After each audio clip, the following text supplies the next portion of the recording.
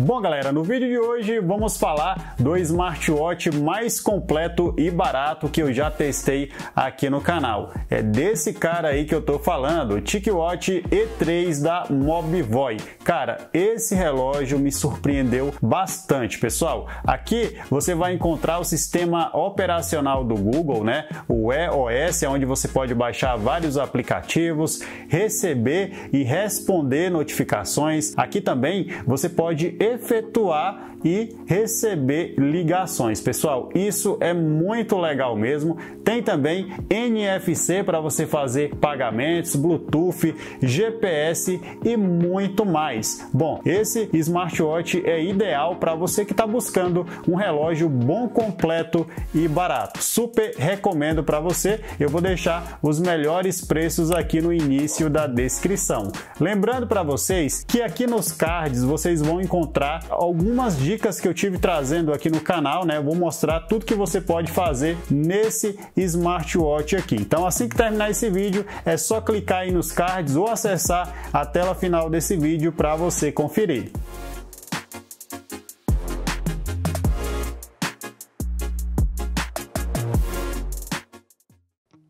Bom, galera, é isso aqui que acompanha o smartwatch na caixa, os manuais e esse cabo grande para você fazer o carregamento do relógio. Nessa ponta a gente tem um imã que vai na parte de baixo aí do smartwatch e aqui do outro lado um USB-A para você conectar no carregador do seu celular e carregar esse relógio bem bacana. O que eu percebi é que ele carrega bem rápido. Então, se você está saindo para o trabalho, não tem muito tempo aí para deixar carregando, deixando aí cerca de 20 minutos, com certeza você vai conseguir dar 50% de carga nesse relógio. Bom, eu quero começar falando para vocês do design desse relógio aqui, lembrando para vocês que aqui eu estou com um smartwatch, né, unissex. Então serve muito bem para homem e para mulher. Ficou muito bom no meu braço, mas aqui tem algumas coisas que eu não gostei nesse relógio. A grossura dele, né, da caixa dele, ó, como vocês estão vendo, é um relógio que é um pouco mais grosso aí. A gente fazendo aqui uma comparação com o TicWatch Pro 3 Ultra GPS, vocês vão notar a diferença, ó. Esse aqui é bem mais fino, né? Já o TicWatch E3 é um pouco mais grosso. Outra coisa que eu não gostei é, nesse relógio aqui é que ele tem muita borda na tela, pessoal. Olha só a quantidade de borda que temos aqui. Mas esses detalhes aqui são mínimos. Isso aqui não faria eu deixar de comprar esse relógio aqui, tá? Só para deixar claro isso para vocês, é um relógio que, cara, tem um excelente custo-benefício, nem parece ser um relógio de entrada. Bom, temos aqui uma caixa de 44 milímetros, não é um relógio estilo relógio do Faustão, fica perfeito aí no braço de qualquer pessoa, tá? É um relógio que tem um tamanho legal e temos aqui uma tela AMOLED de 1.3 polegadas, tá? Uma tela que tem uma excelente resolução, como vocês estão vendo aí, ó. Dá para ver é, os detalhes da tela aí nitidamente, né? Então eu gostei muito disso aqui. E o corpo dela, pessoal, é construído de policarbonato e fibra de vidro. É um relógio muito bem construído e muito bem acabado também, como vocês estão vendo aí nos detalhes. Aqui na parte de baixo temos os sensores aqui, né, que vão medir quase tudo aí, batimento cardíaco, sono, entre outras coisas que eu vou falar no decorrer do vídeo para vocês. Aqui a gente tem a parte que vai conectado o cabo para carregar o relógio e aqui a gente tem um alto-falante, né, para você ouvir músicas aqui nesse relógio, tá? Você consegue fazer isso. Aqui do outro lado você vai encontrar um microfone aqui no meio, voltando a falar. Você consegue ouvir músicas aqui, receber chamadas, efetuar você vai falar com a pessoa através do relógio. Isso é muito legal mesmo e funciona muito bem. Lembrando que no iPhone você vai ficar bem limitado, tá? Se você usar é, esse relógio aqui no iPhone, né? Você não vai conseguir falar com a pessoa aqui através do smartwatch, você vai conseguir sim atender a chamada, mas você vai precisar falar no seu iPhone. Já usando ela com Android, você vai conseguir atender a chamada aqui e falar com a pessoa através do relógio. No Android também você vai receber as notificações e vai conseguir responder aqui pela smartwatch. Já no iPhone, você vai apenas receber as notificações, vai conseguir visualizar, mas não vai poder responder. Então no iPhone você acaba ficando um pouco limitado, mas dá para usar também com essas limitações aí que eu acabei de falar para vocês. Outra coisa que eu gostei muito desse relógio aqui, pessoal, foi do conforto e da leveza dele. Ele pesa apenas 32 gramas, né? Quando você coloca no braço parece que não tem nada. Temos aqui uma pulseira muito confortável de silicone e macia também. Bom, aqui do lado a gente tem dois botões. Esse aqui serve de atalho, né? Você pode colocar para abrir algum aplicativo que você usa com frequência. Eu costumo colocar aqui o Spotify, então você vai lá nas configurações, escolhe o aplicativo e quando você clica já abre o app direto. E aqui temos o botão de acesso rápido aos aplicativos e serve também para você voltar aqui para a tela inicial. Bom, galera, o TicWatch E3 conta com o sistema operacional o EOS do Google versão 2.37. Aqui você consegue baixar vários aplicativos, tem NFC para você fazer pagamentos, Bluetooth 5.0, GPS e muito mais. Bom, esse relógio é equipado com o processador Snapdragon UE 4100, o mesmo processador que a gente já viu aqui no canal no TicWatch Pro 3 Ultra GPS. Se você ainda não assistiu o vídeo, tá aparecendo aí nos cards para vocês. É um excelente processador que tem um ótimo desempenho, né? Deixa a tela da smartwatch aí bem fluida e é muito econômico, não consome muita bateria. Falando agora de memória, aqui a gente tem 1 GB de memória RAM com 8 GB de memória interna. Olha só, pessoal, são 8 GB de memória interna, né? Dá para baixar muita coisa aqui nesse relógio. Bom, temos aqui a capacidade de carga de 380 mAh. Nos meus testes durou aí dois dias eu usando o monitoramento por 24 horas né, de batimento cardíaco entre outras coisas, sem usar aí a tela sempre ligada. Se você usar, com certeza vai durar menos. E o mais legal aqui é que a gente tem a proteção IP68, né? Então você pode nadar com esse relógio, pode tomar banho com ele tranquilamente que não vai ter nenhum problema. É sim resistente à água e à poeira.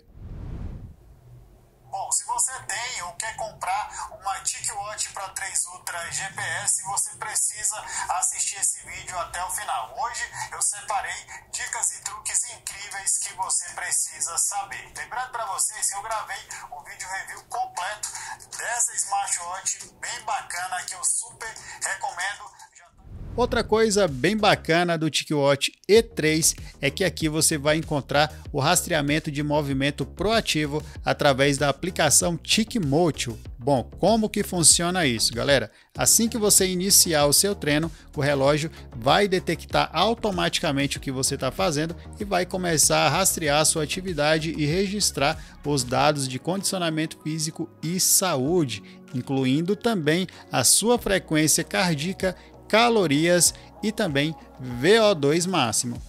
Temos também aqui gerenciamento de estresse, monitoramento de batimento cardíaco, monitoramento da saturação de oxigênio no sangue durante todo o dia, monitoramento contínuo da saúde do coração e aí você pode escolher se você quer monitorar por 24 horas por dia ou apenas manualmente. Manualmente você vai economizar mais bateria.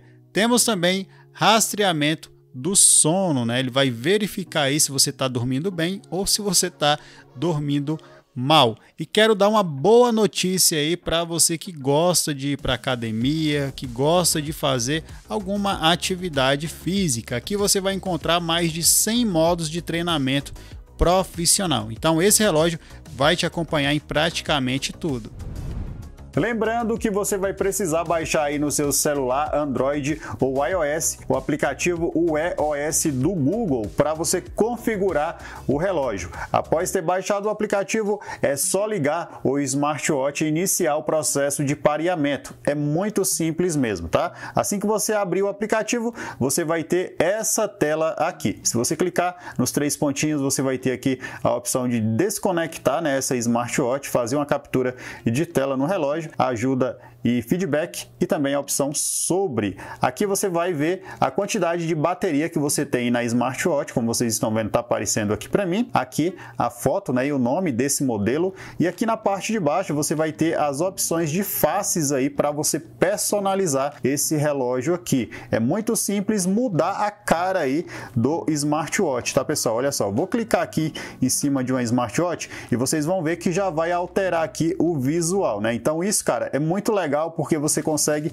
personalizar, mudar a cara do relógio rapidamente. Tem essa opção aqui também, né, que você consegue colocar a sua foto aí na parte do fundo do relógio, né, como um papel de parede, tá? Isso é bem legal mesmo. Então você consegue personalizar aqui rapidamente esse relógio, é só escolher a face que você quer usar e clicar em cima. Lembrando para vocês que eu tenho um vídeo aqui no canal bem completo aonde eu mostro para vocês o melhor aplicativo de faces gratuitas, tá? Tá aparecendo aí no card para vocês. Super recomendo aí que você assista esse vídeo. Bom, aqui na parte de baixo você vai ter essas opções aqui. Em blocos, você pode organizar os blocos aqui que aparecem aqui no menu do relógio, ó, como vocês vão ver aqui agora. Você pode organizar esses blocos aqui, pode mudar a ordem deles, é só arrastar aqui e ir organizando, tá pessoal? Olha só, muito legal também essa opção de bloco. Lembrando que você pode adicionar mais, né? Clicando aqui no botão demais, beleza?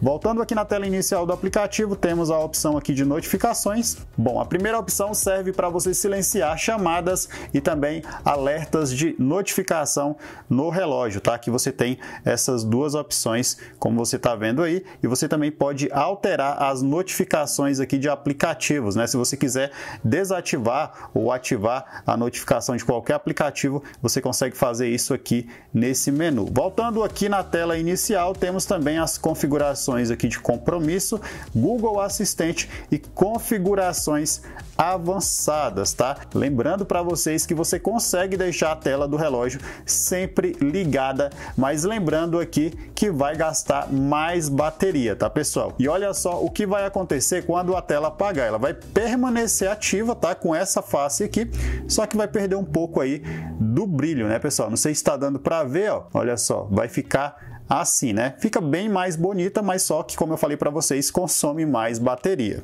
Bom, nesse menu você também tem outras opções, como inclinar para ativar a tela do relógio, né? Então, quando você levanta o braço ali, a tela do relógio acende automaticamente. Tem também a opção início automático de controle de mídia, contas, dados de privacidade e pessoais, bateria do relógio, ver armazenamento, né? Você consegue ver aqui o quanto de memória você ainda tem no relógio temos também a opção de uso de dados dos apps do relógio. E aqui embaixo você pode cancelar o pareamento do relógio, né? Então, como vocês estão vendo aí, o aplicativo é bem completinho mesmo e está disponível para Android e também iOS. E aí, pessoal, o que vocês acharam do TicWatch E3 da Mobvoi? Deixa aqui nos comentários a sua opinião ou se você tiver alguma dúvida, pode deixar aí também que eu vou te responder assim que possível, beleza? Bom, se você gostou do vídeo, não esquece de deixar o seu like, ajuda muito, né? Me ajuda a entregar esse vídeo para mais pessoas aqui no YouTube. Se você é novo aqui no canal, já se inscreve aqui embaixo, ativa o sininho de notificações para você receber os próximos vídeos vídeos. Lembrando para você que tiver interesse na compra desse smartwatch bem legal, que eu super recomendo para você que está buscando aí um relógio bom, completo e barato, eu estou deixando os melhores preços aqui no início da descrição para vocês, tá? E não sai do canal ainda, porque aqui do lado, como vocês estão vendo, tem dois vídeos aí com várias dicas legais aí para esse modelo aí, tá, pessoal? TicWatch e3. Esses dois vídeos vão servir. Então é isso, galera. Eu vou ficando por aqui. Até o próximo vídeo. Fiquem todos com Deus. Tchau!